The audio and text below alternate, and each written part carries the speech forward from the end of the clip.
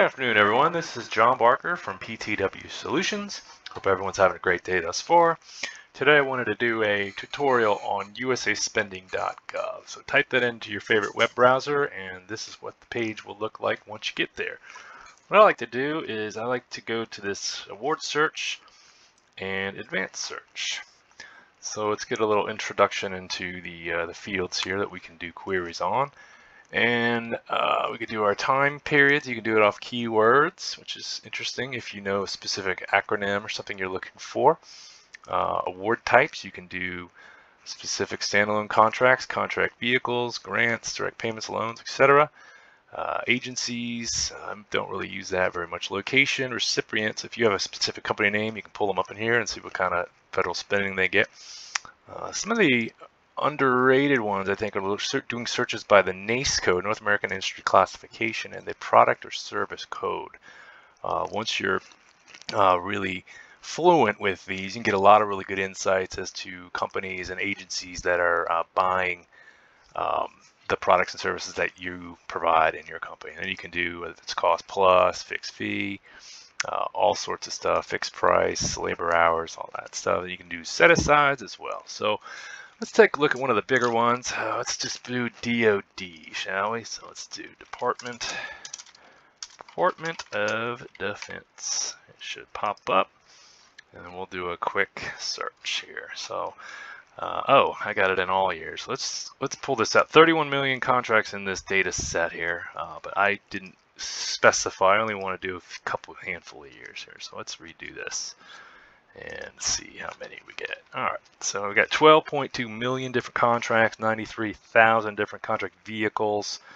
Um, I don't really use the grants or these uh, other fields very often. Um, these are probably um, could be OTAs or uh, some other mechanism. Uh, I like to look at the maps. I'm, I'm into maps, so I like looking at it by the state. Then you can flip it to the county and also congressional district. So I kind of enjoy looking at those things as well. Then you can flip this here. So this is where the the the contract performance is located, generally speaking, and then this is where the recipients are. So probably see a whole bunch around DC. Um, can't really see very well, can you? A lot of the big cities would probably have all the hubs. Yeah, Northern Virginia, DC, Maryland. Looks like there's a bunch in Austin probably, or Houston perhaps.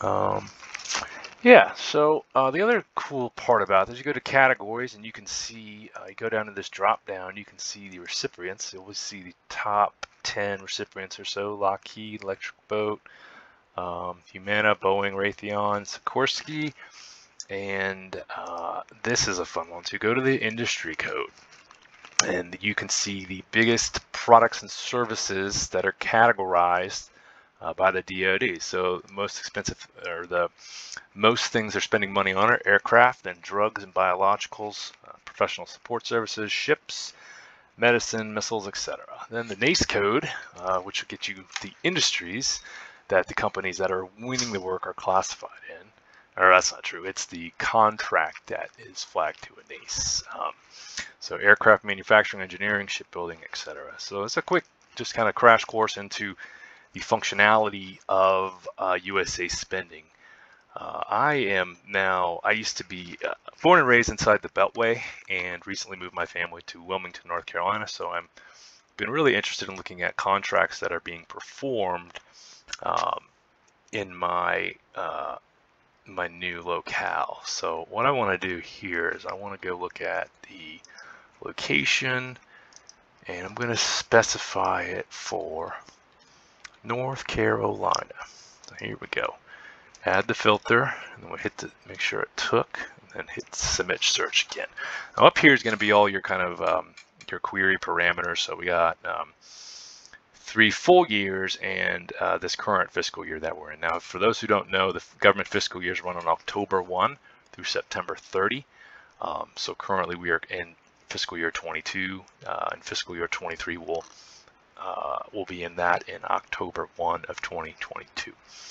Um, so we did the switch to North Carolina. So let's go back to our map here And place performance, no surprise, everything's in North Carolina per our parameter.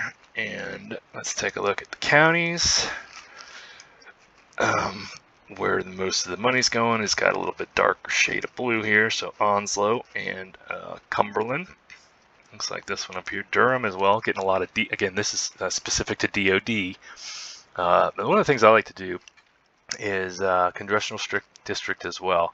Now let's take a look at if we flip this tab from the place performance to recipient location. We get a couple interesting things come out. Um, okay, so what we're seeing here is a lot, all the work that's coming, uh, being performed in North Carolina. You can see how much money is actually going to um, companies that are located outside of North Carolina. The Last time I did this math, it was about 72% of the money was going to states headquartered outside of North Carolina.